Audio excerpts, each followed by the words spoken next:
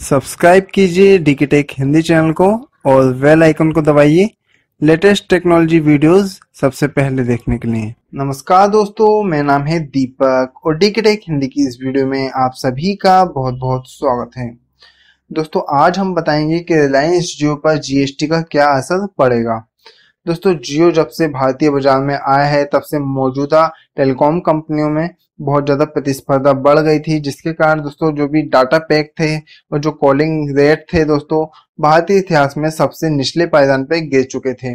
लेकिन दोस्तों, एक जुलाई को जीएसटी को लागू होने के बाद जो हालत होगी, वो दोस्तों फिर से वही हो जाएगी और हमारे टेरिफ प्लान्स और जितने भी प्लान्स हैं, वो अब महँगे हो जाएँगे। भारतीय सरकार अभी तक टेलीकॉम कंपनी पर दोस्तों पंद्रह फ़ीसदी टैक्स लगाती थी लेकिन दोस्तों जीएसटी लागू होने के बाद ये जो टैक्स राशि है, वो 18 फ़ीसदी बढ़ जाएगी, जिसके नतीजे दोस्तों मोबाइल रिचार्ज के कूपन के दाम आसमान को छूने लगेंगे।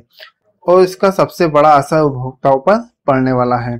ज़ाहिर है टेलीकॉम कंपनी इस टैक्स को अपने कस्टमर से ही वसूलेंगी तो ऐसे में रिलायंस जियो जैसी कंपनी अपने टेरिफ प्लान में भी बढ़ोतरी करने पर मजबूर हो जाएँगी, जिसके कारण रिलायंस जियो के सभी टेरिफ प्लान महँगे हो जाएँगे और उसका मुआवजा कस्टमर्स को ही देना होगा। तो इस तरीके से रिलायंस जियो पर जीएसटी का असर पड़ने वाला है और जितने भी टेरिफ प्लान है वो महँगे हो जाएँगे।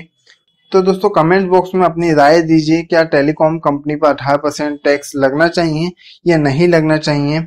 और मुझे उम्मीद है आपको ये वीडियो पसंद आएगी तो इस वीडियो को लाइक कीजिए और ज़्यादा से ज़्यादा शेयर कीजिए। और ऐसी ही टेक्नोलॉजी से रिलेटेड वीडियो के लिए हमारे टीके टेक हिंदी पर बने रहिए। तो चलिए दोस्तों, अब हम चलते हैं। जय हिंद बंदे मातरम।